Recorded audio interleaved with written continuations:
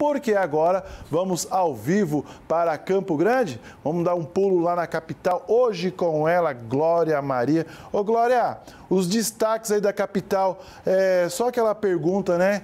Tá chovendo aí? Bom dia, Israel. Bom dia que nos acompanham. E sim, tá chovendo bastante, já tá até fazendo um friozinho. Me arrependi de não ter trazido um casaco aqui para redação, saí de casa aí na correria, não percebi que ia fazer frio, nem olhei a meteorologia, agora eu tô passando frio, viu, Israel? Ê, menina, ê, menina, eu aposto que sua mãe falou assim, Glória, não esquece o casaco.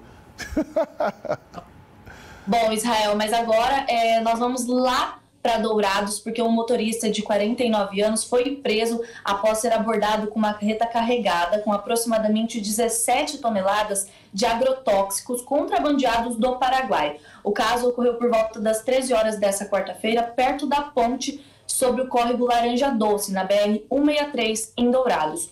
O homem era morador do Paraná e contou ter saído do porto né, de Paranaguá com destino a Cuiabá, carregado com adubo. Ele disse ainda que ao chegar na fronteira com o Paraguai, na região de Mundo Novo, entrou no país vizinho, onde vendeu a carga de adubo em Salto del Bahia. E aí lá ele trocou é, a mercadoria. Ele estava indo para Cuiabá e a mercadoria ficou avaliada em 17 milhões de reais, conforme o inspetor da PRF em Dourados, o Valdir Brasil do Nascimento Júnior. Lá no nosso portal RCN67, quem está nos assistindo consegue ter acesso a essa notícia e a muitas outras, Israel.